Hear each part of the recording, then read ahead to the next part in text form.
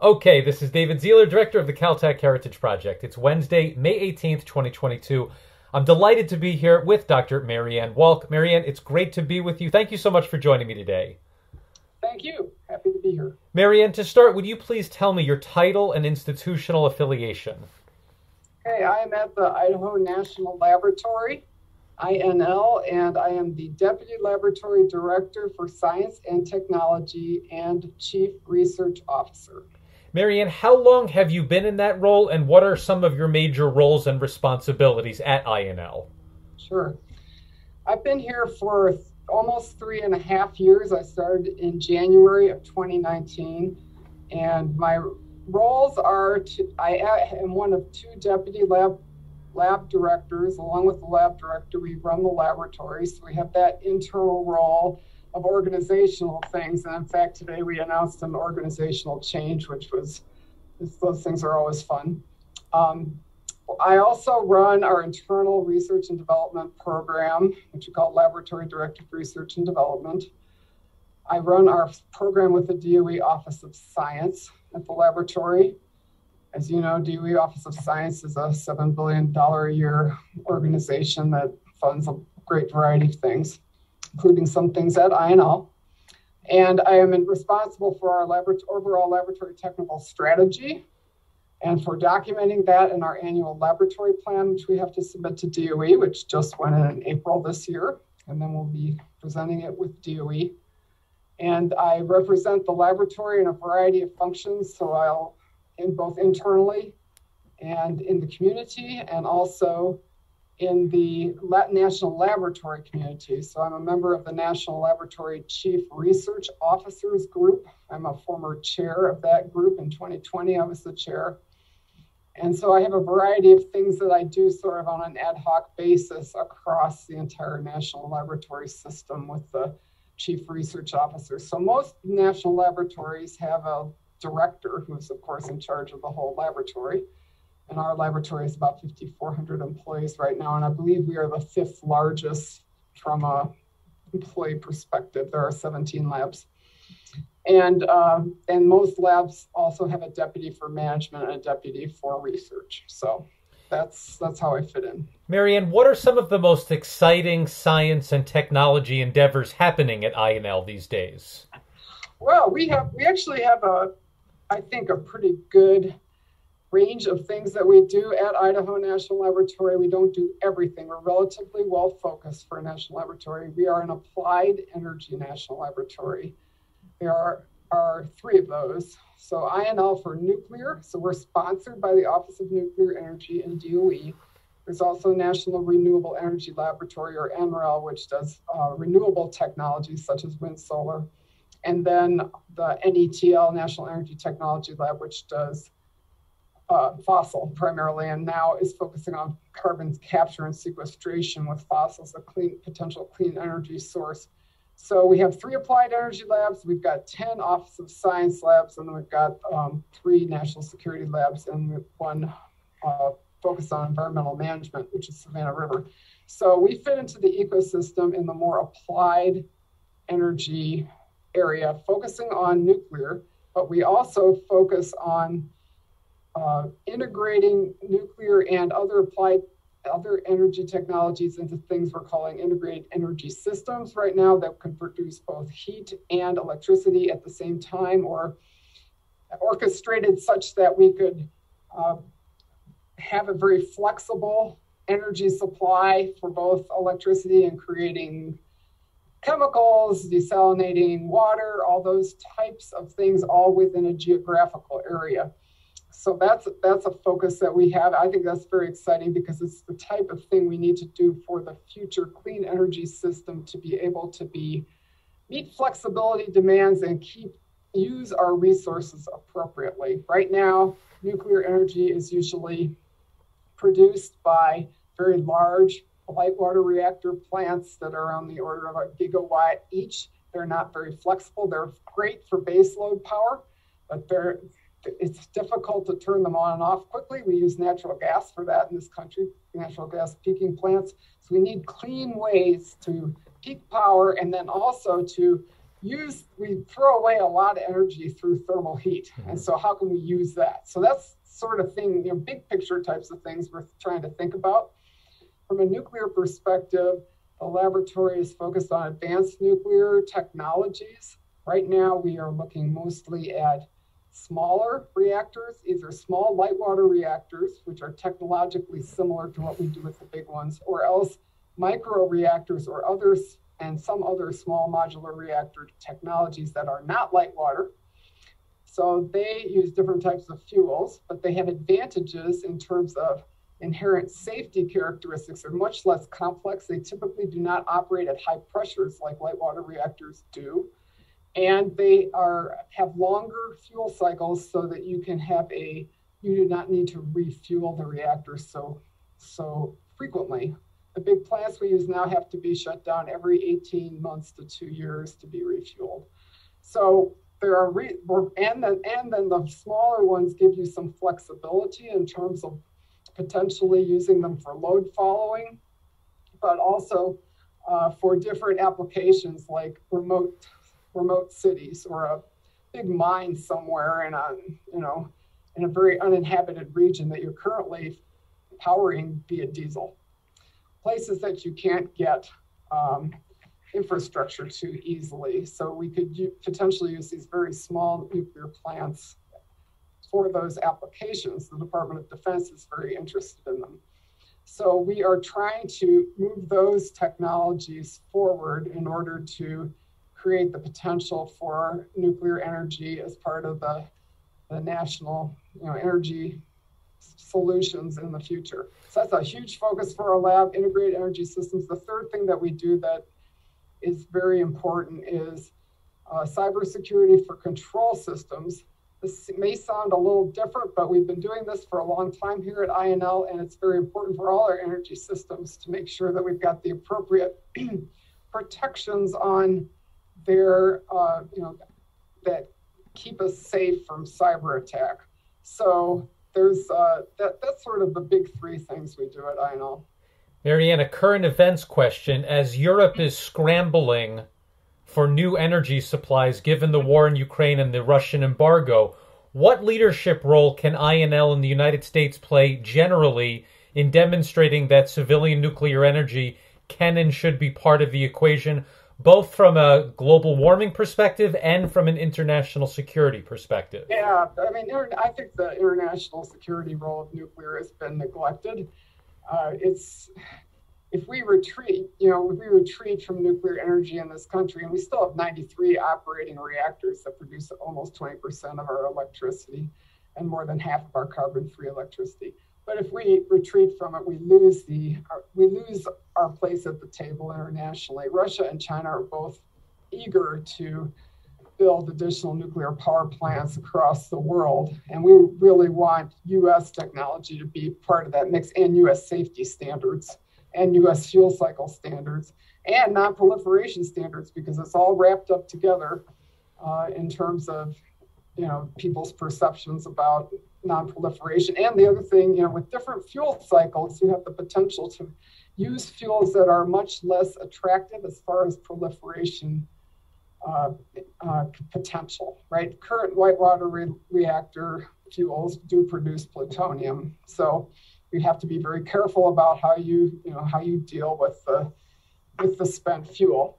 So there's just how can we do this? Well, we have to engage in the engage in the conversation. And we are start. I know that the USDOE right now is has a big effort on trying to address the uranium shortage that we could be facing due to the fact that we're not purchasing uranium from Russia right now. And we typically get, I believe it's about 20% of our uranium for our power reactors comes from Russia. So that's not to mention of all, of course, the issues with European natural gas dependence on Russia and, and other things. How, so how can we, we are, they are working very hard right now at the Department of Energy to develop a strategy. And we have some experts from INL who are working with them on that strategy. Marianne, to get a sense of of where your portfolio fits in in terms of the overall national policy mm-hmm. in Washington. What are the federal agencies, the offices, or even the individuals that you have direct interface with? Oh, that I talk to? Um, well, you know, all the people at the at the Office of Nuclear Energy, which is one of the so there's an assistant secretary who who reports to the to the Secretary of Energy, who is um, Katie Huff. She was just confirmed, so I have interaction with her uh, and with various deputy assistant secretaries as well in her office. So there's nuclear energy. She reports up through the S, what we call S4, the sec, uh, undersecretary for science. They just changed the name. It used to be Science and Energy, and I think it's now Science and Innovation. That's Geri Richmond. She's from the University of Oregon, and she just started uh, several months ago. And so I interface with her, and I've known her for a number of years. And then, uh, from a sort of a defense perspective, the National Nuclear Security Administration is run by Jill Hruby, who I know very, very well from Sandia. She used to be my direct supervisor from a long time, for about seven years. She is the S5, the Undersecretary for National Nuclear Security. I don't have a programmatic need to talk with Jill all the time, but I have access to her because you know, she's a friend of mine. And we do uh, we do a lot of work also with this is another oddity with the Department of Energy. We do a lot of work with uh, an organization called Naval Reactors, which is a part of NNSA, National Nuclear Security Administration, NA 30.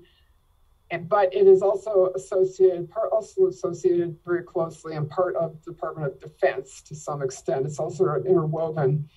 And we run a facility called the Advanced Test Reactor out here at INL, which does thermal irradiation of the fuels that the Navy is considering for their nuclear fleet for the submarines and the and the aircraft carriers. So we we also at INL do have a big connection to NNSA through NA30 naval reactors. We also do some work for nonproliferation.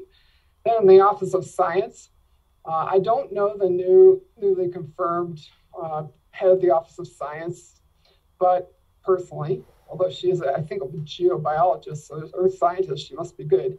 But the uh, I do know the principal deputy associate director Steve Binkley and I and I also know Harriet Kung who is a C3, the head of the Office of Science Research pro- programs very well also. So I talk with them occasionally. So it's mostly people in Department of Energy. Uh, in my past I worked with uh, Nuclear Regulatory Commission quite a bit. I worked a little bit with DTRA and a few other agencies, but I would say those contacts are sort of on the old side. Marianne, at INL, what are some opportunities for collaboration both with academia and private industry? Oh, we do we do a lot of both. Uh, we have we have a couple of academic uh, collaborations, official ones that are run out of my office which I didn't mention earlier. So we have one with the Idaho universities that the state of Idaho invests in. So they, they want to have their universities working with Idaho National Laboratory as a sort of in a symbiotic way. You know, Idaho is a small state, and you know, from a population perspective, we have about 1.8 million people. We've got three research universities. We've got one national laboratory. We're, I believe, the sixth. It might be the seventh largest non-governmental employer in the state.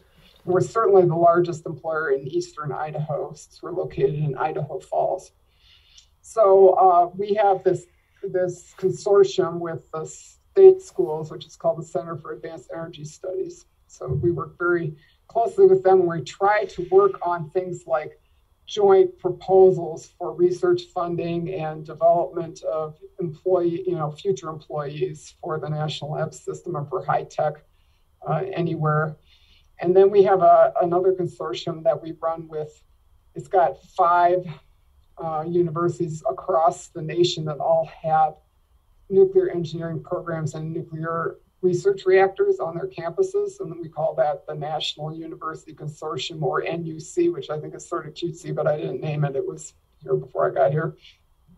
So we have have the, a lot of collaborations with them. Again, on we do joint appointments, so we have, can have faculty exchange and staff exchanging with faculty. We do joint research. Our internal research program, our LDRD program, allows us to, you know, flexibility on funding universities, those types of things. So there's quite a bit of academic collaboration. With regards to industry, DOE NE, nuclear energy, funds a number of programs that are very industry focused with lab participation. So they they we can put together proposals with industrial partners to the Department of Energy to be funded together. They could come to us to uh, to pay us. They can actually, there's a mechanism for industry to come to a national laboratory and ask us to do work for them that we're uniquely qualified to do. And so we can do that through cooperative research and development agreements or through projects where they just pay us to do R&D. And at INL, we have a number of really interesting and unique, particularly nuclear facilities that we can that aren't available elsewhere in the country. Marianne, I can appreciate at Sandia where a seismology and geophysics background would be relevant in terms of nuclear weapons testings and and and and, and explosions. Is there also a place for this course of study analysis at INL? Yeah, yeah. Although it's not, you know, seism- seismology. We have a few seismologists on staff here at INL. I mean, I didn't get this job because I'm a seismologist. I think I got it because I, you know, have a long career of leadership in the national lab system.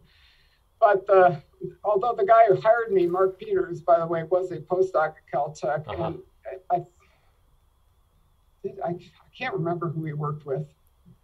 Anyway, he's a geochemist, but he um, he so I'm sure he appreciated the you know the glories of being an earth scientist when when looking at who to hire for this job. But the we do have a seismic hazard in our area, right? Uh, Idaho Falls is on the Snake River Plain, uh, flood basalts from the you know, Yellowstone hotspot, et cetera. So we have a network of seismometers that are out across this, the site. We have a lot of government land, 890 square miles of it that start starts about half an hour west of Idaho Falls. We call it the site.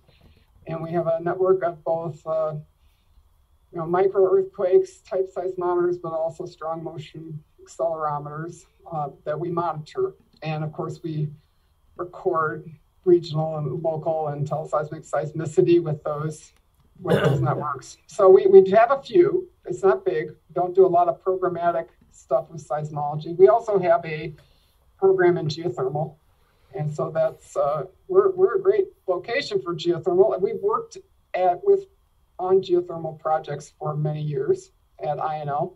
I would say we're not at a high point on that now, but given the potential, you know, for geothermal to, especially with enhanced geothermal systems where you, you know, actively fracture the rock below the surface and pump water into it to extract hot water, we can have the potential, I think, to uh, do more with geothermal as a renewable and clean energy source. And so we're, we're certainly looking at trying to think about how we can best do that at INL. There are other labs that do geothermal as well, of course. Marion, this has been a great tour of what's going on currently. Let's go back now to the 1970s. As an yeah. undergraduate, yeah. were you specifically interested when you were at Hope College in seismology and geophysics? Was that on your radar even that early? It was. It was actually not when I started. Not when I started college. When I first started, which was in the fall of 1974, I, I took. Um, well, Hope is a liberal arts college, so and it had at that time, and I think it still does have a fairly large core curriculum, but then it had really, really substantial core curriculum. So I took a lot of that stuff, and I also enjoyed taking German in high school, so I took some German classes there too. But I took chemistry, physics, and um, and math, you know, calculus. We didn't have calculus at my high school, so I had to start with Calc One. And then uh, after about a semester, I realized that chemistry was not for me. I had a great high school chemistry teacher, and I thought I liked chemistry. But when I took it in college, even though I had a good professor, he was a good teacher, I realized this wasn't really my thing but I still liked physics. So I thought, hey, I've always liked, you know, volcanoes and, and rocks and stuff, and let's take a geology class. So I started, I didn't do that though till I was a sophomore. I took intro to geology when I was a sophomore. And I just thought that, no, that's not right. Until took intro to geology, I think when I was a second. I think it's second, I don't remember. I started it late compared to the rest of the geology majors. Let's put it that way. While I was at college, I took intro and I thought, hey, this is fun. Let's take let's uh, i really like this but i want to combine it's pretty descriptive. I want to combine it with my physics. And it turned out that hope had a hope had a already uh, a composite major for geology and physics that they had developed for a couple of previous students. And so it was described in the catalog and was an official major so that's what i majored in geology and physics as a composite turned out I was one course short of being a double major, and it was a chemistry class that I didn't take. So I ended up with a. But yes, I was always interested in college. By about you know, by about time I started as I was a sophomore in in seismology in particular. Yeah. Now, were there professors, or did somebody give you a boost of confidence that a place like Caltech was within range for graduate school? That's a good question. I do remember that I had a particular geology professor. You know, I was of the of the generation where there were a lot of uh, women who didn't have you know long careers, right? And so I remember telling this guy, I think I was a junior in college. He said, "Well, what, what was I planning to do?" And I said, "Well, I thought I'd go to grad school, get a master's, and probably eventually I'd get married and have children." That's what I told him, and he said, by the way, I did get married and have children. But he said, um, why don't you get a PhD? And I said, I've never thought about getting a PhD. And that's interesting because I did have relatives who had PhDs. My my dad was a first generation college student in his family, but my mother's family is very well educated, and she had a brother who was a chemistry professor at a small college. So I was familiar with PhDs, but it hadn't didn't occur to me to do it so once he started thinking about that, I, he said that, I was like, huh, okay. And then I don't know if they really encouraged me to try to apply to Caltech or not, but you know, Caltech was like the place to go for seismology, and I wanted, I was interested in seismology, so I thought I would give it a shot. I also applied for an NSF graduate fellowship, and and miraculously was awarded one of those. So I, I, I got lucky on that. But yeah, they were very encouraging, certainly. Although I do remember one of the physics professors telling me uh, that I, you know, I wasn't going to be at Little Hope College when I went to Caltech, and I'd better be ready for the big world. Marianne, when you got to Caltech, first of all, at the Seismo Lab, were there other women graduate students? Were you part of that sort of inaugural class? No, that well, so there were there were graduate students who were women who were there ahead of me. One had just graduated before I arrived, and I've never actually met her. Her name is Sue Rakes, and she was British, and she went back to Britain, I believe, after she graduated. And I have, have never actually encountered her. Uh, there were two women graduate students in the Seismolab, and there was one geology student, uh, Joanna Vizgirda, who worked with Tom Ahrens, and I believe she was officially a ge- geology student, although I'm not 100% sure, but she's not a seismologist she might have been listed as being in the Seismo lab. I'm a little uh, fuzzy on that. But we had Pat Scott and Suilin Liu, who were both in the class right before me. So, uh, and yeah, and then there were two more who came in the class after me, Holly Eissler and Vicki Lefever. And so I, when I arrived, there were three, me, Suilin, and Pat. When you got to the Seismo lab, first of all, what were your impressions? Hmm, good question. Um, I was completely intimidated. It's a, you know, Caltech is a very challenging place, I think. Um, you know, and I came from this little college, and a lot of the people came from, you know, pretty impressive schools, and uh, and everybody questioned everything that you did. So it's you know, and let's let's take a look at some of my classmates, right? So, I there were six of us originally, and then one of them left. A guy I think was from Venezuela, uh, left after the first year, but the five, my four classmates were Terry Wallace, Thorne Lay, Mario Basilio, and Tom Hearn. And Terry, of course, uh, had a long career at Arizona. I'm sure you interviewed him, and also um, then became eventually uh, peaked his career as being uh, uh, the director of Los Alamos for a year or so. And uh, Thorne is a you know eminent seismologist at Santa Cruz, and Tom Hearn was at um, is at still at New Mexico State as a professor, and Mario went into industry. So it was a pretty it's a pretty intimidating group. Did you have a good idea of what you wanted to focus on when you got to the Seismo Lab? Were you wide open in terms of topics and even professors to connect with? I was wide open. I think one of the things, the great things about the Seismo Lab is that they don't force you to pick an advisor before you show up. And and I understand from my recent visit to Caltech back in January that they still have this open funding model where you can do a variety of things with different professors. I think that's absolutely fabulous. It was a terrific opportunity. So yeah, I, I had to certainly I had to focus on my classwork to begin with. I was behind in math compared to a lot of people. Honestly, Hope College did not have some of the classes that I should have had in math. So I had to I had to try to pick pick it up pretty quickly, and that's probably and that was a struggle for me. So I, I had some self confidence issues at the beginning, and I would have to say that. Um, no, I won't say that. But I had some self confidence issues at the at the beginning, and it took me a while. I, there was a female postdoc there, Chris Powell, who is uh, still working, I believe, and she um, she got me started on a on a uh, project that I used for my one of my propositions for my orals, my first one, my biggest one, and uh, and then after she left, I sort of transitioned over to Bernard Minster, who then left and went to, down to SAIC, I believe, in San Diego, and later UC San Diego.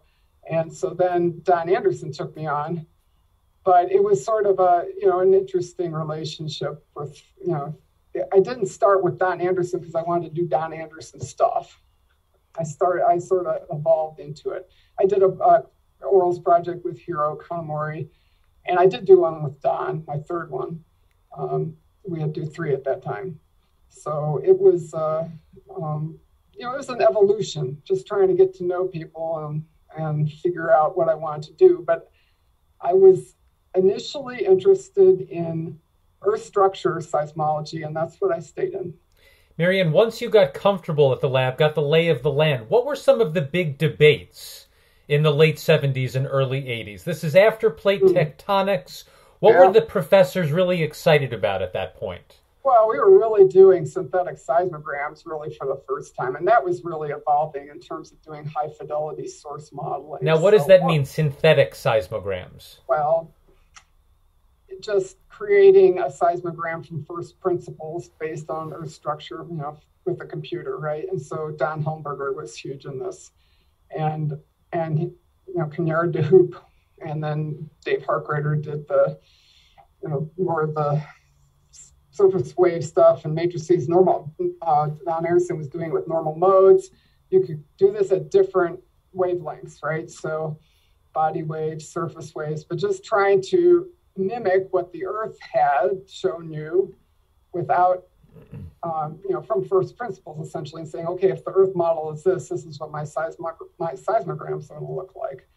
I, I still remember Terry Wallace putting together something that I thought looked not that great, but he was very excited about it because it was a strong motion synthetic. So this was those were the and now it's quite routine to create models of what you know your wave entire wave fields right that that you can create that are created from models. And we have magnificent computing power. Now when i got to caltech we had they had just bought the prime mini computer.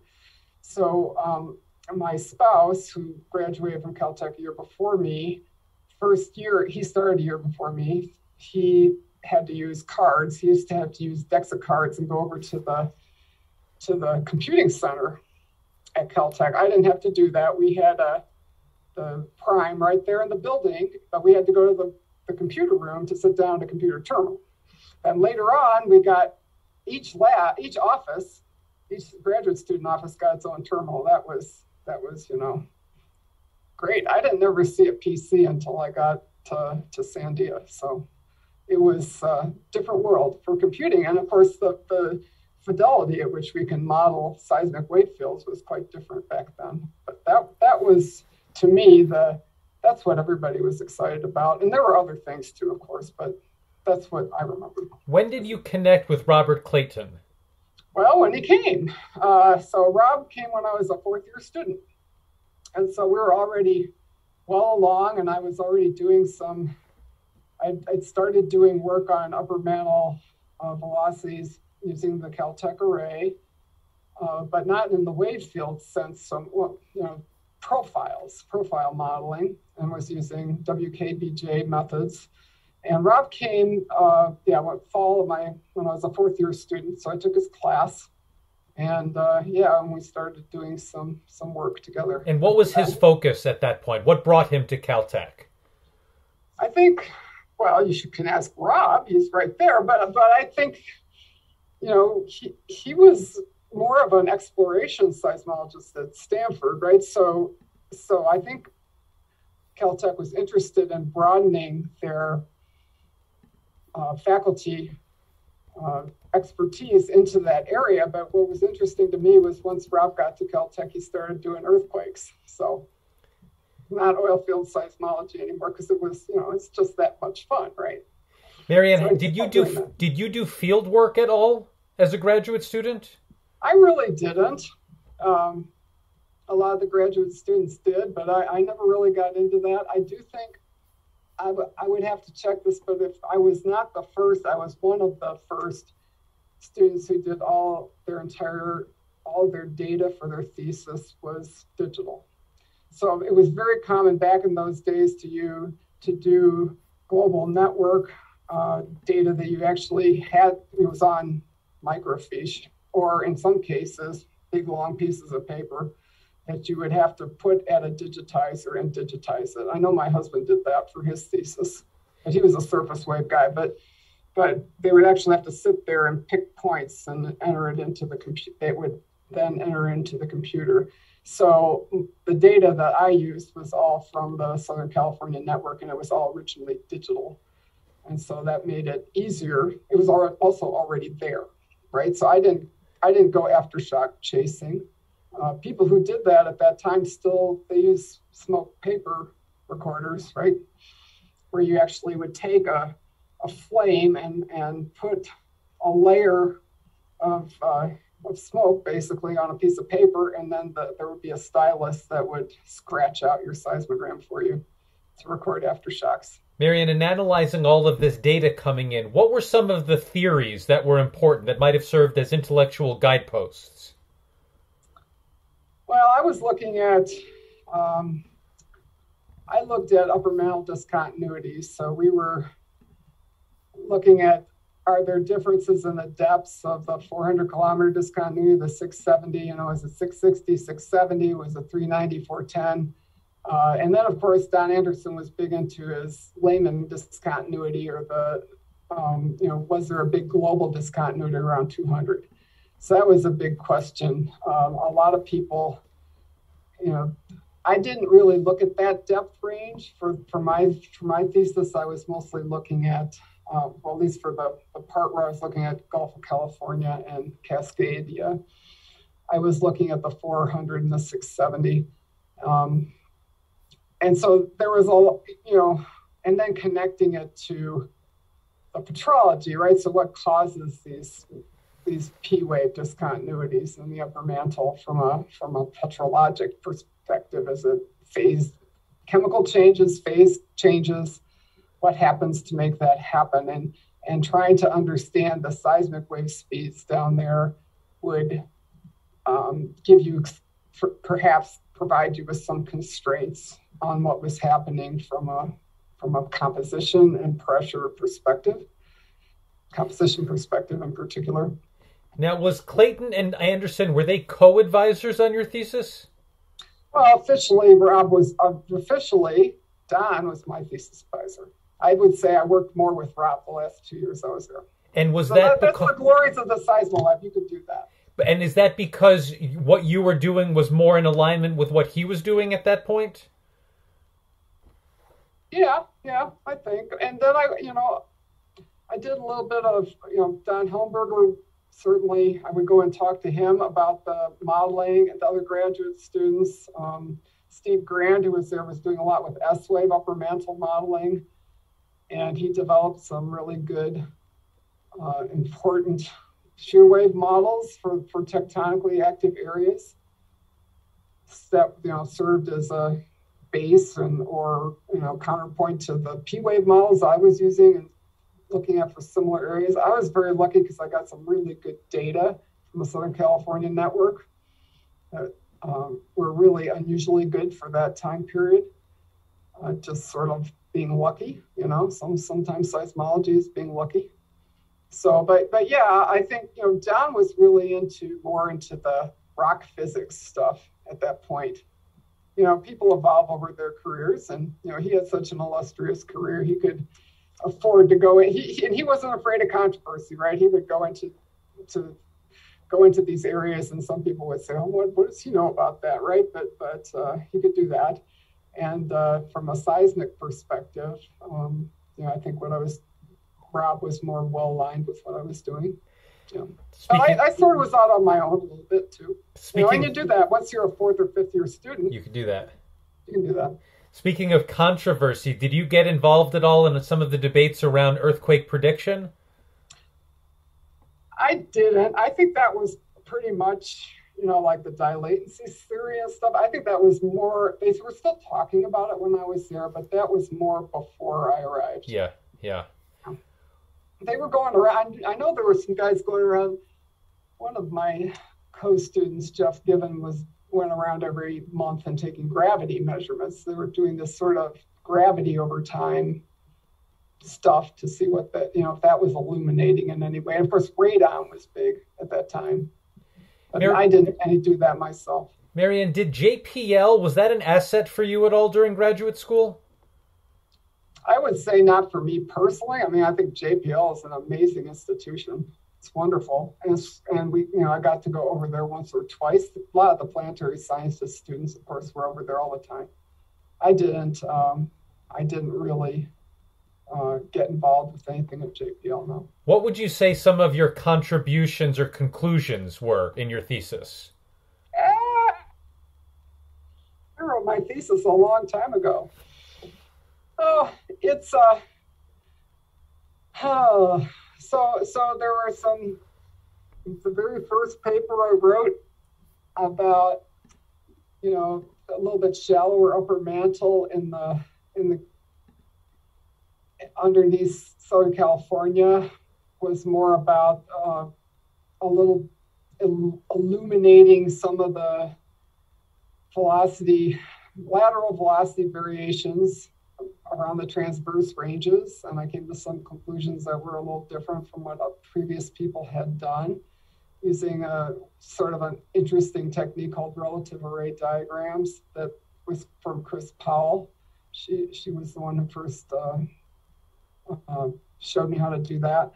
Uh, with regards to the uh, upper mantle structure and profile, there was a very uh, fast beneath this beneath. I had a data that showed that probed the essentially the upper mantle beneath the Gulf of California, so as an active spreading center. So that's the paper that I've written that has actually been cited quite a number of times, and it had a very large gradient above the 400 kilometer discontinuity, and then I was able to see some fairly fine structure on the 660. And I think the 660 has held up pretty well as about the right depth, although I've lost track over the last 20 years what people are thinking these days. And uh, and then I did some cool stuff with Rob on wave field continuation uh, for for upper mantle. So some some uh, just some different ways of looking at these um, seismic profile data. But it, it's it's um, you know just some some good data I've, I've been pleased that some of my data profiles were included in some textbooks, so that was sort of fun. Um, but um, you know, and then I did a comparison of the Gulf of California with the Cascadia zone, and it was a different gradient above the 400. So, you know, just some basic knowledge about, which I think has held up reasonably well um, about the upper mantle structure. Marianne, by the time you defended, were you looking broadly? Were you looking in and industry, academia, and at national labs? No, I uh, I had decided partway through graduate school that academia wasn't for me. So I looked at how hard these guys worked, and uh, and and I honestly just didn't think that was me, right? So I I, I think I sort of I didn't know myself then, but um, I found out later that really sort of management leadership of the scientific enterprise was more something that I had a what I would say more of a distinguishing characteristic as in the ability to do that. Whereas I think I was an okay scientist. I was I'm not as brilliant as many of the people who went through Caltech, just to be honest. I, I could tell that so what could I do? What was I really interested in doing with my life? And so I didn't think academia would be right. So I was looking at industry and I looked at national labs. There was a guy actually who I saw very recently, just by chance, named John Rundle, who worked at Sandia, who was a visiting scholar at Caltech. He would come and hang out. So I knew about Sandia from him. And then my husband, who we were not married at the time, he got a job at Sandia. And so then I became very interested in getting a job at Sandia as well. I left, he graduated in, in, uh, 83, and I graduated in 84. And uh, so I applied to Sandia. I also applied to several other, couple oil companies in a postdoc position, and I got a few, I, I got several job offers, but I got the one at Sandia, so that was where I was going to go, so I could, you know, hang out with Eric. So there you have it. During the Cold War, right after Able Archer, was nuclear security, nuclear verification, was that a really important part of Sandia's portfolio at that point? Oh, absolutely. And so that's so actually Sandia had about three different areas where they used geophysicists at that time. One was in the Treaty Verification Organization directly. Another was in energy organizations, so geothermal, magma energy types of things. And I wrote some papers on, in that area. Also wrote some papers on nonproliferation. But then we also had a research geophysics group that was supposed to be more fundamental research, and that's the one I joined. So when my husband went, he uh, started with the more of the applied energy area, and then he migrated over to nonproliferation, where he stayed the rest of his career he became a distinguished staff member at Sandia and retired in 2016, I believe. So, um, but then I went into to management fairly early. But yeah, we were doing, we were still doing nuclear testing out at Nevada test site at that point. Sandia ran a network that recorded the ground motions from the nuclear tests at, you know, sort of 10 to 50 kilometer ranges, so pretty close, but not right, right on top of it. Although they, they did some close in instrumentation as well. And then, of course, there were the global networks for nonproliferation that, that Sandia and Los Alamos and Livermore all had a hand in monitoring. And I mean, not the day to day monitoring, but analyzing the data, understanding the verification issues. Marianne, what was your first job at Sandia? My first job was member of technical staff in the geophysics department. So I I did. They didn't have a lot of, you know. I got to sort of figure out what I wanted to work on. I mean, there were some funding constraints, but I had a project in was funded by the Magma Energy Program at the time, which is sort of an offshoot of geothermal. Could you put a heat exchanger into a body of magma and exchange and extract heat? Well, a couple problems. One is getting the heat out. The other is you know, having their having your heat exchanger survive. Another is finding the magma. So I was working by that point. I started working on some tomography stuff with Rob Clayton. So I would go back to Caltech periodically, and I worked with Rob on that. And we, we did a paper on COSO on uh, tomography, and so looking for low velocity regions that could be magma. so that was fun. So I did that was part, of, but that was only part of what I did. The other part was uh, when I first started was looking at ground motion data at the test site from from a certain set of explosions on Pahute Mesa that went were recorded at a place called Jackass Flats that had very unusual um, amplification. So I was trying to, and there was about 50 kilometers distance. So I was trying to figure out what the uh, why this amplification occurred. It was on a very very small uh, geographic area. They had put a little array of size of ground motion instruments out there to try to map out this anomaly. And I did some I did some work on that. I also looked at uh, ground motions from nuclear explosions recorded at Yucca Mountain, Nevada, because they were, of course, thinking about the about the uh, potential repository for spent nuclear fuel, commercial nuclear fuel there. And so they needed to. At that point, they were still setting off explosions at NTS. And so the question is, how big, how much did that shake Mountain? Well, the answer was not a heck of a lot. Marianne, this initial work, did any of it require a clearance? Was it classified? Well, everybody at Sandia had to get a clearance, so I got one. Uh, did my first work require it? No, I don't think so. When when did you start to get more into the national security side of things?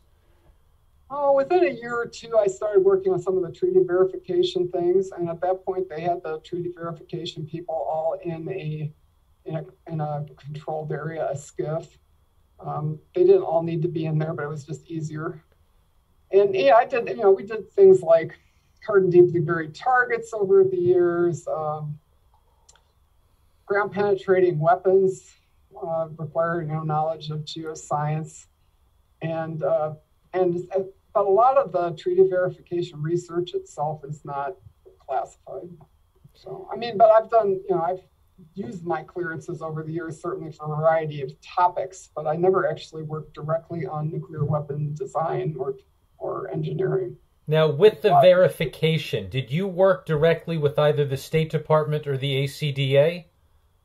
No, no, this is all DOE. DOE has a, it's a NA22 is the office. It's research and development for nuclear nonproliferation. Part of it, they've had a very long-standing program with the three National Security Labs, Sandia, Los Alamos, and Livermore, on just you know discrimination of earthquakes from explosions using very you know various wavelengths, various at various distances for various sizes of um, of things. And, you know, over time, I, I after I got out of management, went into management. I got out of doing the actual R and D in that area and I do think, you know, some things about it were certainly classified, like, you know, if North Korea sets off a test and what can we tell about that? We probably don't want to tell that to other people, but we, Sandia and the other labs would certainly had people looking at those very carefully and trying to see what they could determine.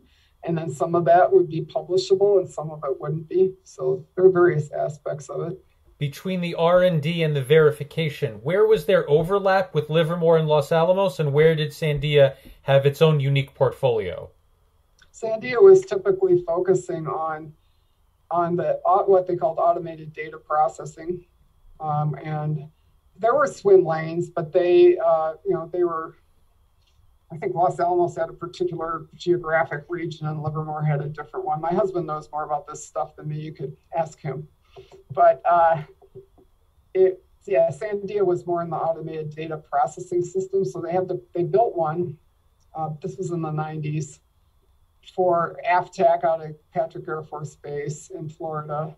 Eric was traveling back and forth there all the time, and we had our first child, so that was interesting. But it was uh, um, that was Sandia led the system to and to bring in the data and do do analysis of you know processing of the data triggers you know when when when was there an event identifying events those types of things. How long after you joined sandia would you say you were already on a management and leadership track? Well it's hard to say but i would i, I have to admit that the within the first week that i was there when i sat down with my supervisor he asked me if i was, would consider going into management. And i think part of that was uh, uh, well, you know, it might have been part of my experience at Caltech, and that I, ran things like the softball team and ski trips and stuff. And I don't know, certain people like to do that. But yeah, so he asked me about that early on my career. And actually, I became the manager of the group that I was in after six years, which is pretty early for, for somebody to go from staff to management. Because he, that same guy, he left the group at that point. He was actually a mechanical engineer. I thought it would be good if we had a geophysicist running the geophysics group. Marianne, moving into the 1990s, how did the end of the Cold War change things at Sandia? Oh, it changed them quite a bit. We had a lot of budgetary um, uncertainties, I would say, because uh, and no new nuclear weapons programs, right? So there was a bit of a dearth in hiring, and so that has um, you know propagated its way through the workforce. But as we've gone on, but and of course now people who are who are um, hired at that point are sort of you know in their you know prime prime of their uh, you know upper level careers, but uh, I'd, I'd say it really affected our ability to bring in new talent, and our emphases changed. So at that point, a lot of the labs went into things more aggressively, pursued things that they weren't hadn't done before because they didn't have as much support from the weapons program, so from the national, you know, the national security labs. So they it was more of a little bit of you know going after funding from various parts of DOE in order to maintain programs and maintain uh, you know employment for your researchers. So we broadened quite a bit at what point, I don't know if it was gradual or there was a specific initiative, at what point did Sandia start to get involved in climate and sustainability issues? Uh, yeah, that's a good question. I'm, I'm not sure I can give you a date on that. There was a, I believe that we didn't actually form a climate program maybe until 2010 ish. Um, at that point, I was, uh, let's see, I became a center director at Sandia in 20, 2009, but I was running nu- the Nuclear Energy and Global Security Center. But I believe Rick Stulen, who was uh, at Sandia, California, started the climate program at Sandia. I think it might have been in 2010. I suppose it could have been 29, 2009. But it was nascent at that point. It's, but yeah, you're right. I mean, these are the big the big changes right over the national laboratories and national security laboratories. First, you had the the weapons focus and national security focus. Of course, then then that's all that was in the old days. Then energy crisis, right in the 70s. So everybody started doing energy, and then in now the shift towards climate. If you look at it over you know several decades time scale. Another big change, of course, September 11th and the mm-hmm. Wen-Ho Lee scandal at Los Alamos. How did the security environment change at Sandia? Well, I don't know. Um, certainly, you know, the security, certainly 9 11 was huge, and we started working with DHS and um, a lot of security things. That was huge. Uh, in terms of the, you know, the operational security environment, Sandia always had really good operational security. I think, you know, the big things that I remember were the when cell phones started coming in and and Bluetooth devices after that. Uh, the, then there was a lot more angst about, you know, the ability of somebody to screw up on on your security because you couldn't take a cell phone into a limited area, and we have, and Sandia is almost entirely a limited area turned out the building that I worked in was not. It was what's called a property protection area. So I could have my cell phone there, but if I took my cell phone into the limited area, which there was nothing to stop me from, it's a turnstile, and I, you know, use your badge and a pin to get in there, I would then, you know, have had have to report that to security and possibly be, you know, given some sort of, um, you know, violation or or uh, infraction as they call it. So those were big changes. Um, in terms of the, was there an, was there an, uh, yeah, there was definitely increase in amount of work that we did in that realm that required high security. I wasn't typically incredibly involved in all of that, but there was a big org. The, our organization that did that kind of work got bigger, a lot bigger after 9/11. Yes. What was some of the advisory work that you did in Washington, around the country, that was important to you personally, but also there was a lot of mutual benefit to what you were doing within the national lab system?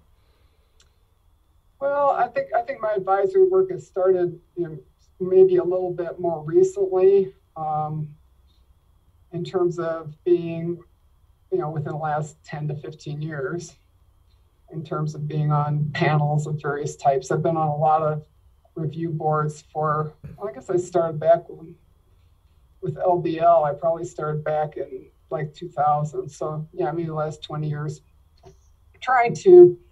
Uh, you know, help primarily other national laboratories with a lot of times with their earth science programs and you know reviewing the strategy there and and you know they always ask you to review the quality of the research. Typically i think the quality of the research is very good. It's more about you know how are you attracting retaining mentoring staff? Are you working on the right things? Does what you say you're focusing on make sense within the DOE ecosystem, those types of things.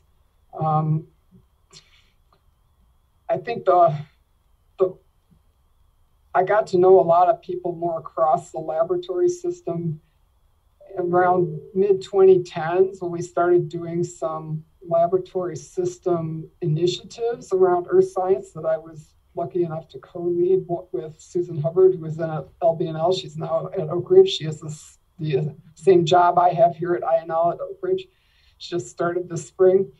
And we started a, a cross laboratory initiative with the Department of Energy on subsurface science, which was a great tool um, to get to know, you know, really get to know the earth science community across the entire national laboratory system and, you know, try to think about strategic directions for the future and see how much we could convince DOE to um, you know, see the wisdom in, looking at the big things. The, the issues there was trying to develop funding streams uh, from the Department of Energy because of the way they were funded. It was it was a tough tough row, but a tough hoe to row, road to hoe, road, to hoe, tough row to hoe.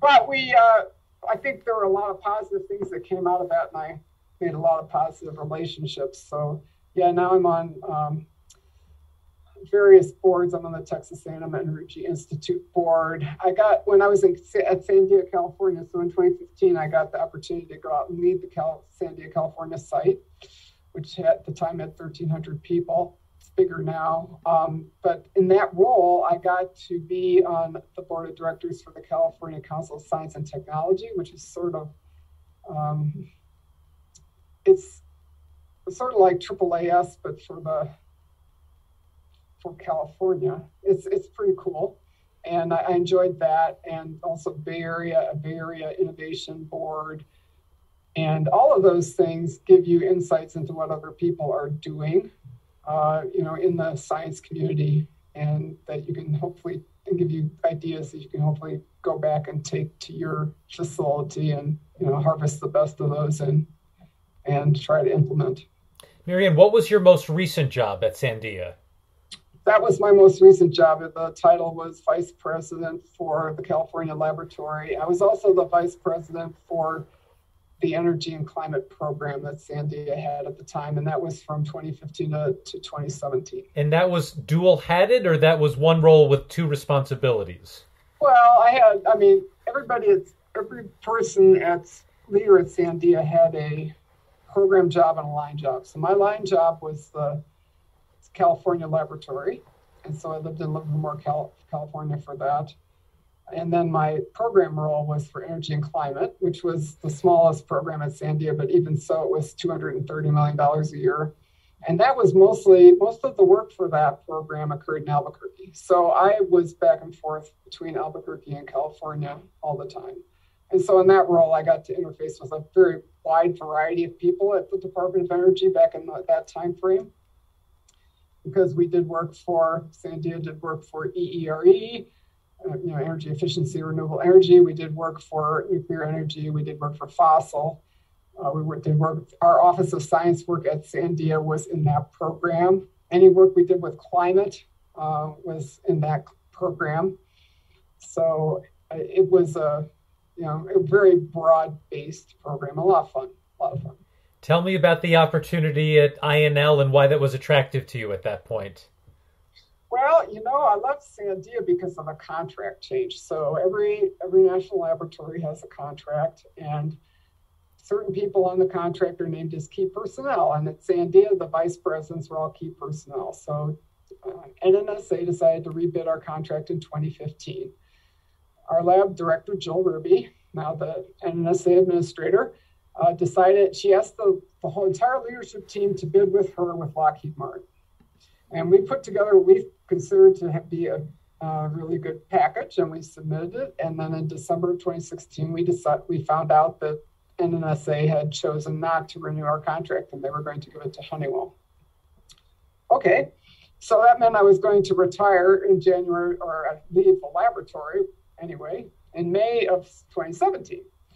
So that next several months was I was 60 years old at the time. The next several months was very busy with all these transition activities, and I thought a little bit about did I want to try to take a job or not, and I looked around at some volunteer opportunities, and I finally decided to just uh, retire, do a few of these activities boards. I did a little consulting for Los Alamos after I retired, and um, moved back to Albuquerque. We had never sold the house so moved back into the house, you know, went hiking, played my violin, all that sort of stuff. Um, but after a while, it just wasn't. You weren't ready yet. I wasn't ready. I didn't get to retire on my own terms. So, so a friend of mine from Sandia, California, who had then gone to work at PNNL, alerted me to this job that uh, that INL had, which was very different from my job at Sandia. So my job at Sandia would now be called, and they have actually have retitled them now. They're called associate lab directors. So it's a, a program and a, and a line job. Different labs. In some labs, it's only line. In some labs, it's only program. In some, it's both. Uh, here at INL, it's pretty much both for our ALDs. But that was a you know a big, huge line, lots of people, lots of program responsibility this DLD job for the deputy lab director and the CRO is got a very small group of people that work with me, and I, I work on things that are a little bit more global with respect to the laboratory and more general science. And INL is a lab that has had a lot of changes over the years in their mission, and they have had a have huge focus on demonstration and very applied stuff and very much less on more fundamental science. So the the laboratory leadership, the director Mark Peters, really wanted to amp up, you know, keep working on developing our science base, our fundamental science base, and he he had a deputy lab director who was leaving and was actually part of a bid team for Los Alamos, which so INL, sorry, back up, but INL is run by Battelle Energy Alliance, which is a, a Battelle um, LLC. Battelle bid bid on Los Alamos and they won. And so when they put they have to put together a bid team, and the previous INL deputy lab director for science was on that bid team. So he had he was obligated when they won that bid to go work at Los Alamos. So he did that. So that opened up this job that I have. And so when I heard about it, and you know, they had this need to to develop our you know, research excellence for the laboratory to a level that it had not been at previously. And um, I thought, you know, maybe I can help this lab. And it's in a part of the country I've never lived in, and it would be fun. We're an hour and a half from Jackson Hole. That is not bad. That's you know? not bad. I can get to Yellowstone in two hours. I can get to Sun Valley in two and, a, two and a half hours if I drive fast. And so Salt Lake in three hours. So, so there's, it's a nice location. My husband was interested in going north, and my kids were all grown. And so, hey, an so adventure. I, so I, an adventure, right? Just to finish my career out. Just to bring our story right up to the present, what are you currently working on? What are some of the key projects in your portfolio? Yeah. Well, we are. Uh, let's see. Let's first let's go back to to, to our LDRD program, Laboratory Directed Research and Development. Uh, you're allowed to tax your incoming funds to create a pool of indirect money to do research under this program. All the all the contractor-run labs, the 16 of them, do this at varying levels. INL has always had a very small program. So when I was at Sandia, the LDRD program was $160 million a year, and I know it's significantly larger than that now. Um, when I came to INL, its program was $27 million a year, and it only represented about 2% of the annual budget of INL. So, what we've been doing very mindfully over the last three years I've been here is improving the management and the focus of the program and growing it. So this year we're at 40 million and next year we're going to be at 47 million. You have to work that with DOE on the size of it and just running that program. And I knew a lot about LDRD from my time at Sandia. I knew how to run an LDRD program, uh, even though I'd never been in charge of Sandia's. But uh, but so that's one thing that we do. Uh, the lab plan is sort of an annual thing that we always do, and that um, is sort of a it's not really an initiative, but it's just something we do. But another thing that we're working on right now is something we're calling a research culture initiative at INL to try to take to the next level our research community. We have really grown the number of PhD scientists that we have at INL, which was not that large. And when I arrived, we only had on the order of 30 postdoctoral associates at INL. We're now up to 100. So I've been working on that. Uh, many of the labs have many more than that. Some of them have, a couple of them have 500 or so. So we're still relatively limited postdoc program, but it's an important thing to help us get new research blood into the laboratory and to um, just you know bring in new ideas from elsewhere. It's, it's just a win-win to have if you have a good postdoc program and we have provide good experiences for them we hire some of them and the ones that we don't hire if they've got had a good experience they go out and they're an advocate for our laboratory and they can continue to work with us say from a, a university where they're a professor so i've been working on you know upping and improving our postdoc program and now we're working on more general concepts of research excellence, like you know how much of our work can we put can we publish? Because the national laboratories, some of them have a reputation for not getting their work out into the into the greater community, and I would say that INL is can do better in that realm. So we're working on on that and and just you know mentoring our you know attracting and retaining a diverse workforce. I do work quite a bit on diversity, particularly gender diversity. I'm the top person female in the laboratory. From a technical perspective, I'm probably top for any perspective. So I have a responsibility as a role model. So I go out and I do things like we last Friday we had an event here we call it My Amazing Future, which was about 300 or so eighth grade girls from around Eastern Idaho who came in. So I did a little keynote for them and participated in a mentor session. So I do things like that as well.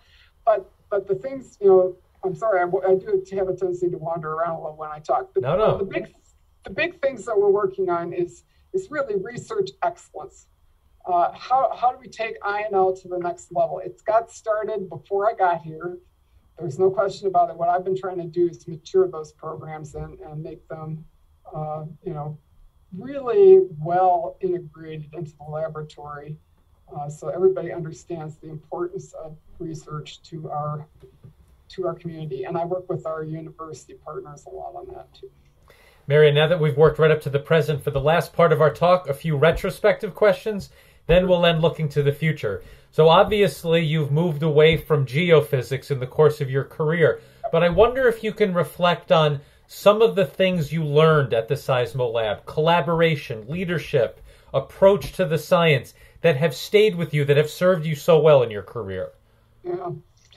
Well, one thing, I'm, I'm going to be maybe a little bit out on the edge here, but uh, I think if you look in the national laboratory system, you will see an, unusual or an overrepresentation of earth scientists in their leadership.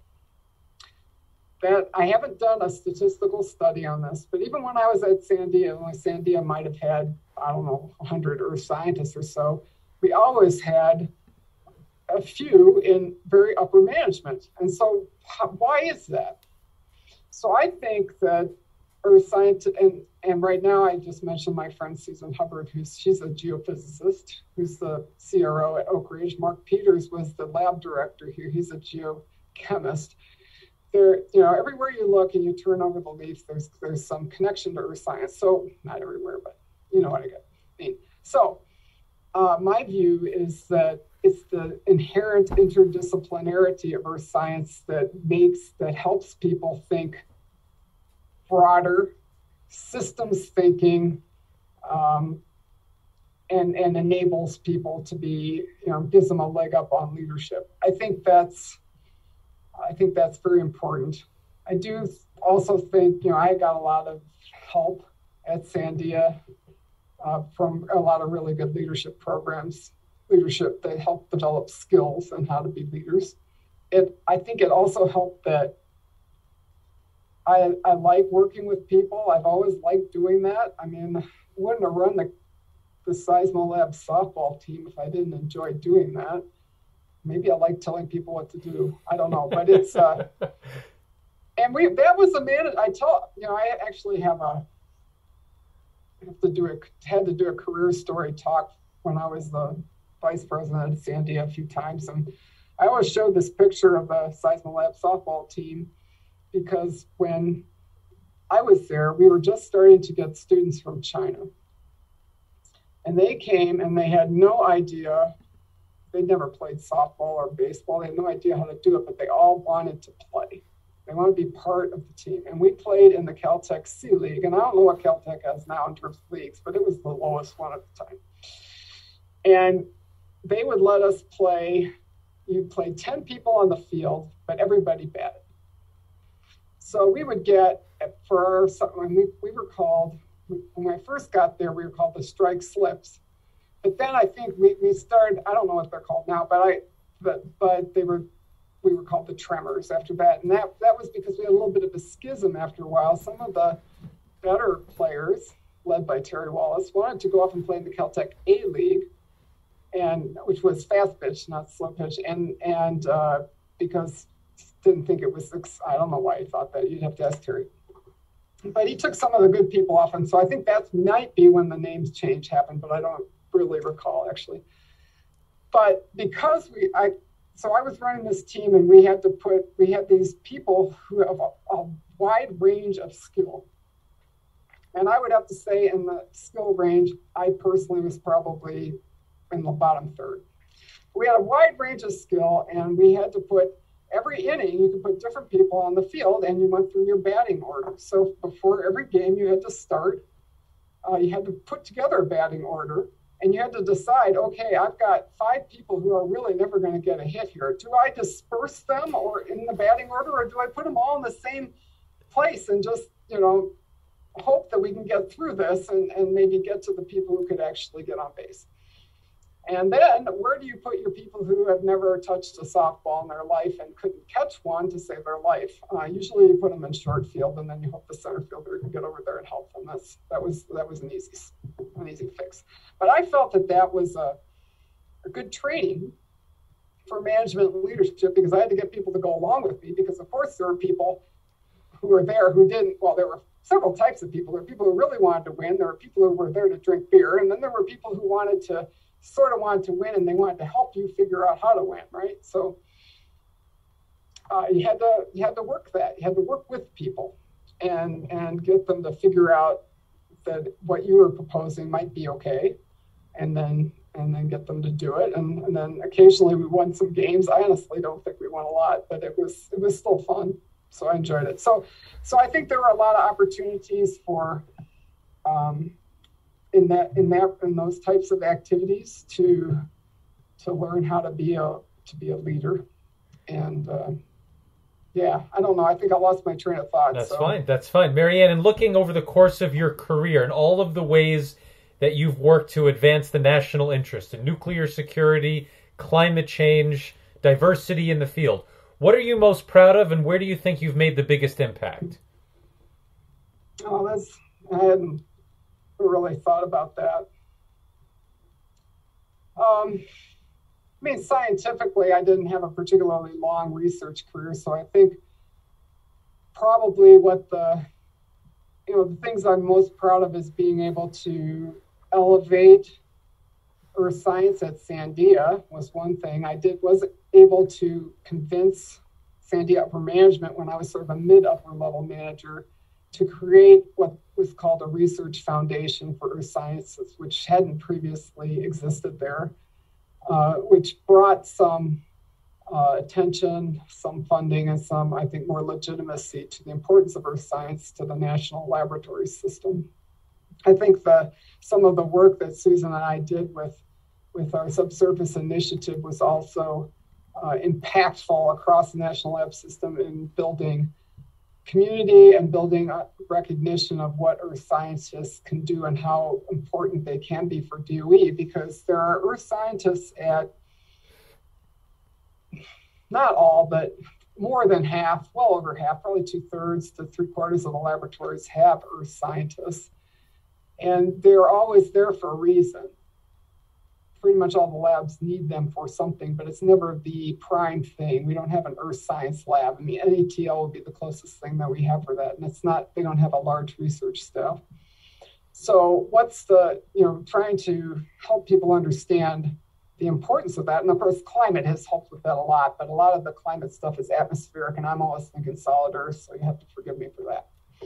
But the uh, I think that was was impactful, and I think I've been had an impact on INL in terms of um, identifying when when I you know if some of the things that we were doing a few years ago weren't you know they weren't all that good, right? And so somebody has to call them out on that stuff. And hey,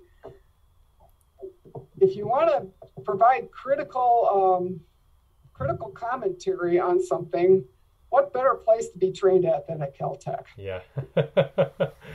so I, I, have a reputation here at INL for being direct. I've been told many times, and uh, okay, but I think that it has helped help the research environment here and the research quality of what we're putting out right now is, I think, better than it's probably ever been, and so I am I am proud of that. Finally, Marianne, last question looking to the future. Have you topped out in your career, or is there one more job ahead of this one, do you think? There are no more jobs. No, I am I'm going to retire in a couple of years and uh, our you know Mark Peters left and I could I thought for a little bit about whether or not I wanted to apply for the lab director job here and I decided not to and I'm very happy that I decided not to.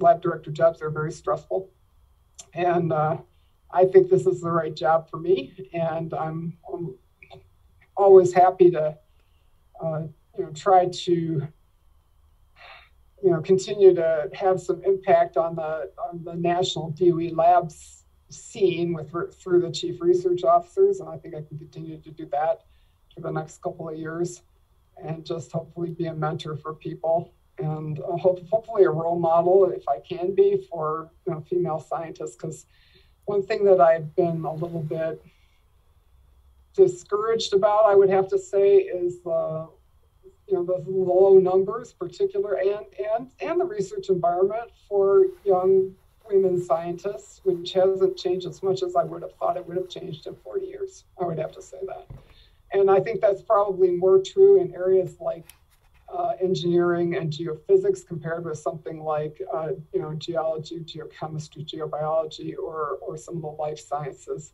where we're much closer to parity in numbers, but we're still pretty low in in so, some areas, and I think people are still facing some of the same uh, the overt overt discrimination types of things have largely abated, I believe, but there's a lot of there's a lot of uh, subtle stuff that still goes on.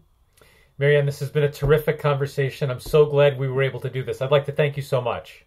Well, thank you very much. It's always it's always fun to to reminisce, and there are many other. I mean,